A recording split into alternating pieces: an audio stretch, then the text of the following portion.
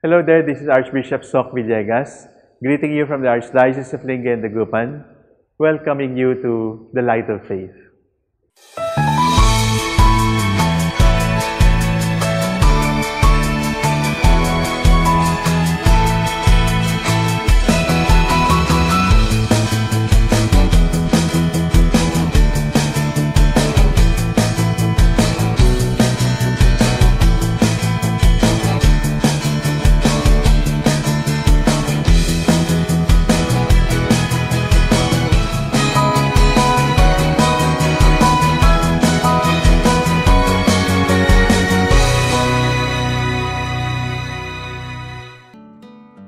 The question for today is about the sacrament of matrimony. We Filipinos have attended many weddings. We have attended many ceremonies of matrimony. And uh, we hardly understand what the ceremonies represent for us. What are the symbolisms when we get married in the church in the Philippines? First and foremost, the first symbol is the couple themselves this man, this woman, marching up the aisle are signs of the presence of God in us. That is why the bride wears white and the groom is dressed in the best that he can because both of them are signs of Jesus in our Christian community. And then the symbol is extended into the words. They will say yes the most important word is yes. But the yes was not first uttered by the couple. The first one to say yes is Jesus. He said yes to us even before we were born, even before we were conceived in our mother's womb.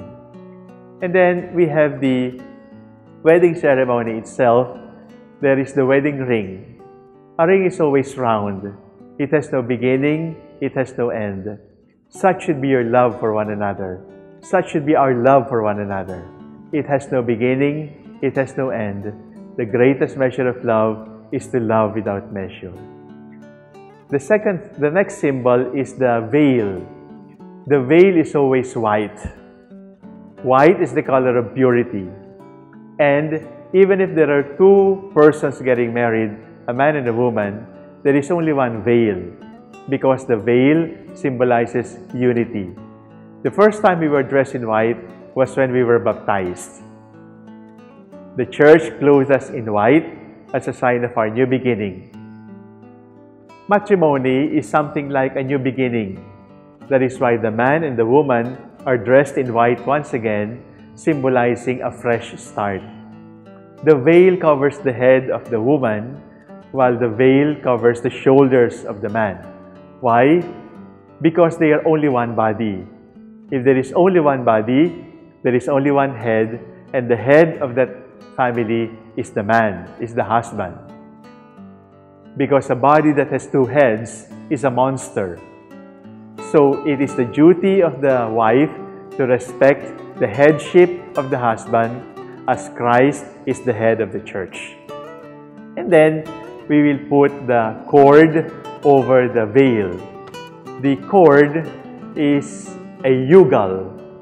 The, the, the cord is like a yoke that we used to put on the carabao or the cow when we use those animals to plow the fields. If you put the yoke on the carabao or the cow on yourself, you're going to feel its weight because it is heavy. Such is love. Such is married life.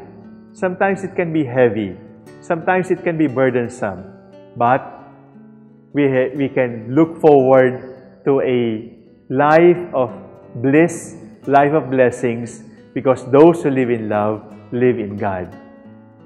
There comes a time, my dear brothers and sisters, especially the married couples here, when looking at the wedding pictures no longer excites us but brings us a lump in the, in the throat or brings tears into our eyes.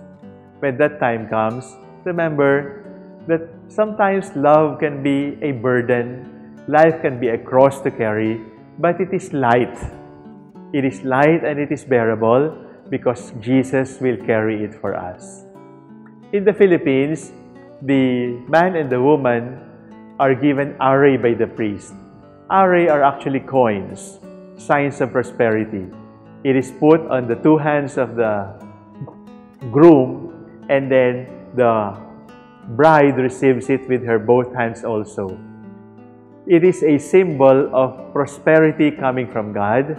It is also a symbol of the providence that the husband accepts and the husband promises to give the wife and the children that God will give them. My dear brothers and sisters in Christ, the next time you attend a wedding, remember the love of the groom for the bride is a symbol of the love of Jesus for all of us. That is why, my dear husbands, my dear future husbands, my dear grooms, please remember when you are up there in the altar, you are a sign of God's love, the love of Christ for the church. And be careful with what you say, be careful with what you do, be careful with your thoughts, because your thoughts, your actions, your life should be that of Christ. It is very difficult to stay focused and uh, prayerful and reflective during the wedding rite because the camera is always watching, the photographers are always watching. But I encourage you, stay focused and appreciate each and every part of the wedding ritual because this ritual will carry you through into your life, into your life together. Lastly, my dear brothers and sisters in Christ, when a man and a woman get married, their commitment is to be saints together. They must be saints together and make their children saints together with them. The call to matrimony is a vocation from God. I was called to be a priest.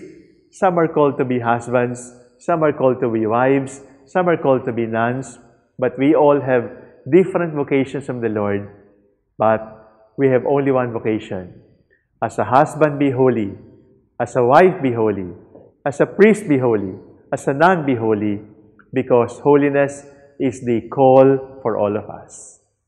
My dear brothers and sisters in Christ, let us pray for all married couples. And let us pray that all married couples follow Jesus and embrace the path of holiness.